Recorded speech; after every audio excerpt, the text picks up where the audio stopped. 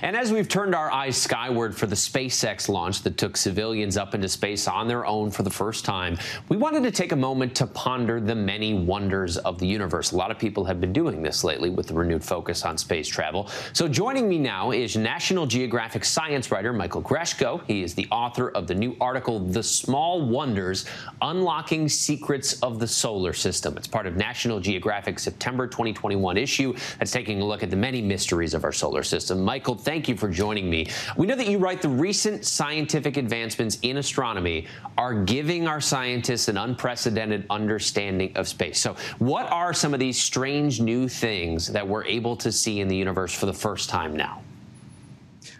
Well, first, Trevor, thank you so much for uh, having me. Uh, the advancements in astronomy have been you know, extraordinary in just the last couple of decades.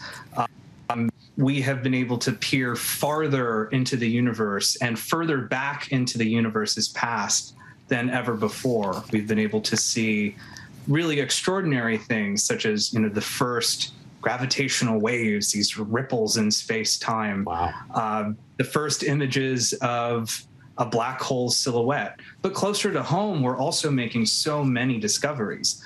As of right now, there's slightly more than 1.1 million known objects in the solar system. There's likely trillions more, but those are the ones we've seen, we observed.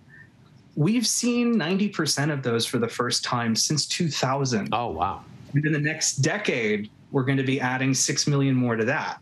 And a lot of that's coming on the small end of things small asteroids, comets.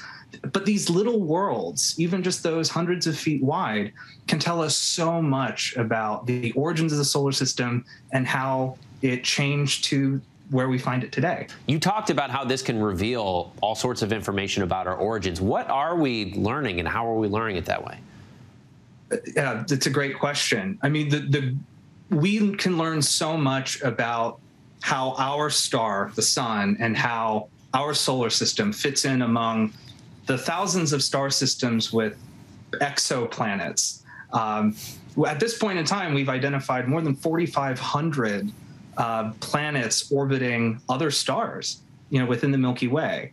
Um, you know, so we can really start to get a sense of how our home compares to all of the other planetary systems in the galaxy that we can see. And one really important way of doing that is by studying and exploring and sampling asteroids and comets and a lot of these smaller bodies. Because unlike Earth, which has a very active geology, uh, and unlike the, the other planets, these smaller pieces are more pristine. They've gone through less geologic activity. And so by visiting them and sampling them and studying them, we can actually get a really good sense of what the chemistry of the infant solar system was like four and a half billion years ago. Space is the great unknown. As fascinating as it is, it also is equally terrifying. Are you finding anything with potentially sinister implications? Anything dangerous? Anything we need to be worried about? The uh, it is in society's interest that we look for and assess low probability events that could be really bad if they happened. And one of those is asteroid impacts. Um, as of right now, there are no sort of dino killer asteroids on the menu. Astronomers feel really confident that they've cataloged pretty much all the near Earth asteroids that are that big. But there are, you know, thousands more that still need to be discovered. We're not making all these discoveries, obviously, from just staring at a telescope 24 hours a day. Mm-hmm. You talk about in your article, there are a lot of daring missions in order to make these modern discoveries. Can you tell us a little about, a little bit about what these operations entail? Absolutely. So um, there have been in recent years a number of really exciting robotic missions to a variety of objects, including near Earth asteroids that are potentially hazardous, including uh, comets.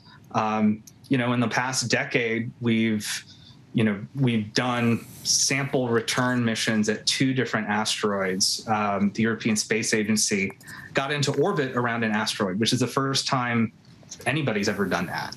Um, we've been able to do flyby missions. Uh, you know, NASA's New Horizons mission did the farthest flyby ever performed, well past Pluto.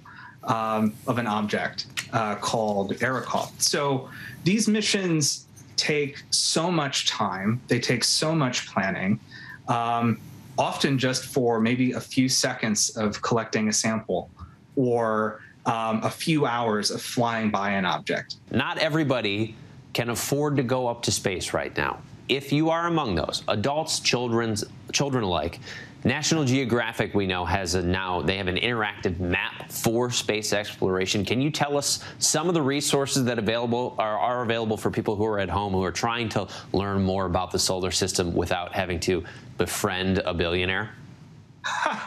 um, well, absolutely. Yes. National Geographic um, has, you know, in, in its print magazine, um, oh, oh, he's over here. Um, um, in its print magazine, uh, we have a full we have a full supplement, um, really rich uh, information. We have an online interactive. We've got um, all sorts of resources on our website for people who are curious, want to learn more about the solar system. We're living in a really exciting time right now, in a fast changing um, era of discovery. We've come a long way from just debating whether Pluto was a planet. Michael Greshko of National Geographic. Michael, we appreciate your time. Thanks so much for your insights. Yeah, thanks so much for having me, Trevor. Hi, everyone. George Stephanopoulos here. Thanks for checking out the ABC News YouTube channel. If you'd like to get more videos, show highlights, and watch live event coverage, click on the right over here to subscribe to our channel. And don't forget to download the ABC News app for breaking news alerts. Thanks for watching.